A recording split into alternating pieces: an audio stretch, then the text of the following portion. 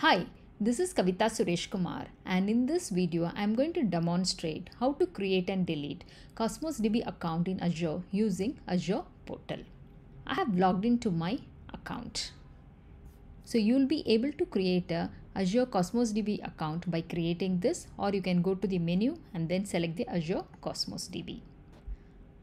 Click create Azure Cosmos DB account. So Cosmos DB supports multiple APIs so you can select any one of these APIs. For the demo purpose, we will select Azure Cosmos DB for NoSQL. Click create. We need to create a resource group. So I'm going to create a resource group called demo RG. Then we need to give a account name which has to be very unique.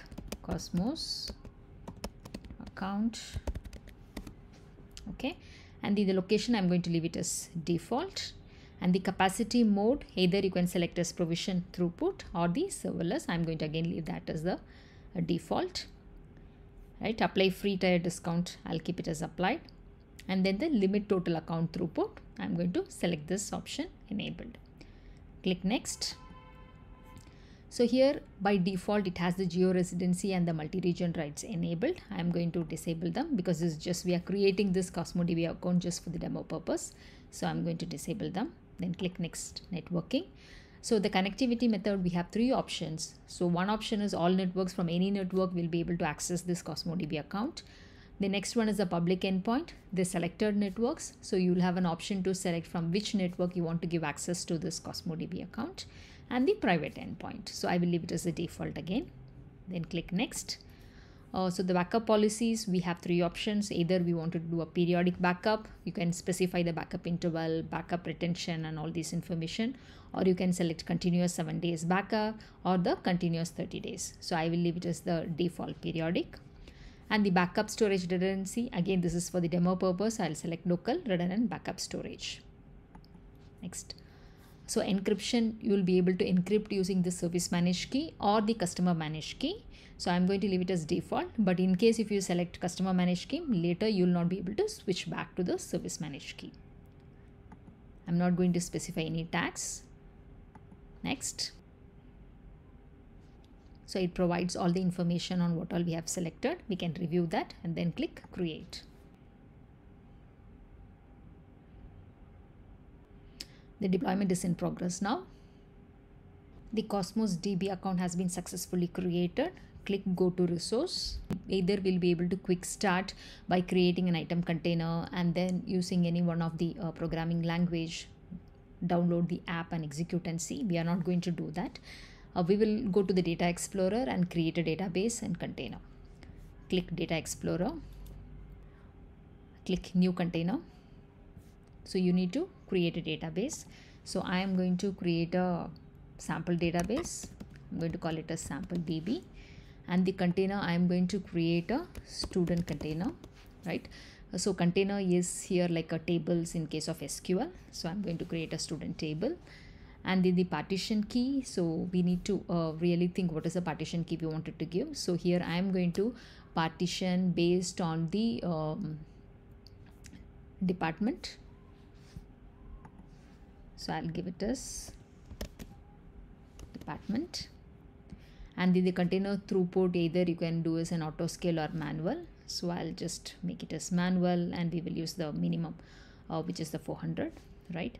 And if you wanted to add any unique keys you'll be able to add right? So this is primarily for the data integrity but i'm not going to add anything now.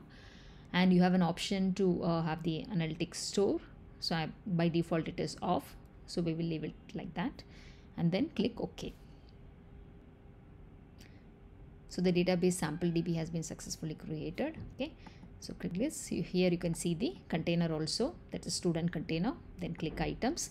So items is similar to the rows in the table right? So currently this is a new uh, container. So it doesn't have any data. Click new item. Okay so this uh, the all these items are added as a json. So it is just giving a template. So the id is the default. So i'm going to give the id of the student as triple one. Then we'll give the name for the student.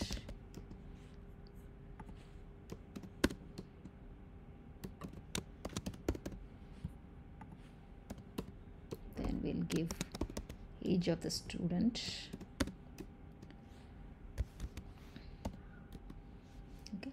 and then we'll specify the department.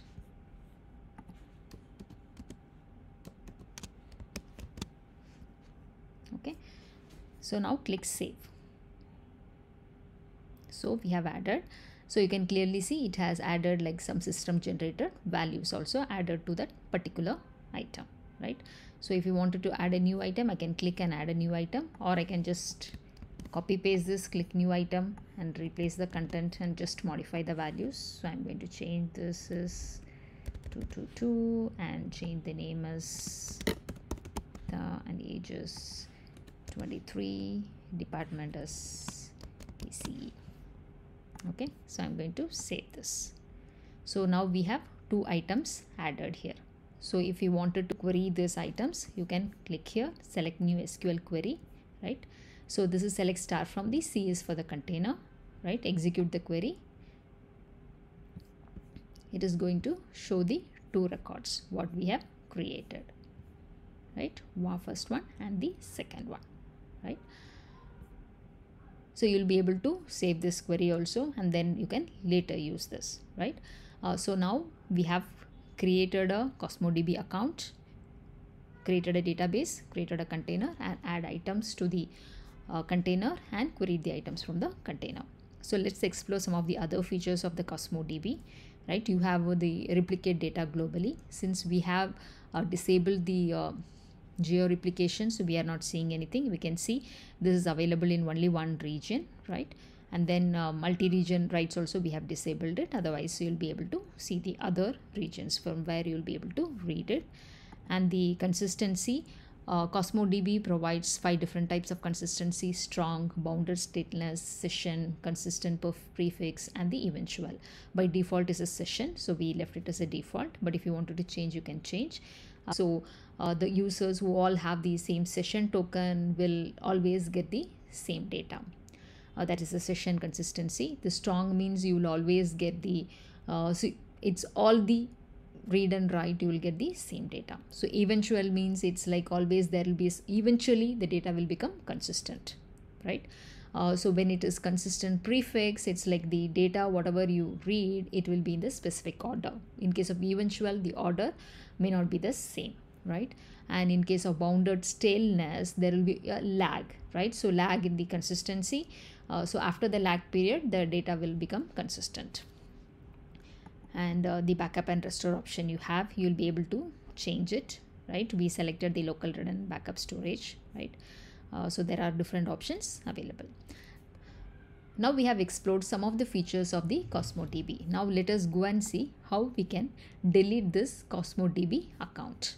Click delete account skip feedback and you need to confirm the account name. So the account name is this. Just let's copy paste and paste it here click delete. The account is getting deleted. The account has been successfully deleted. Azure cosmos db account has been successfully deleted. In this demo we have seen how to create a cosmos db account and then create a database container, add items, and then query the items, as well as how to delete the Cosmos DB account. If you like this video, please like, share and subscribe. Thanks for watching the demo.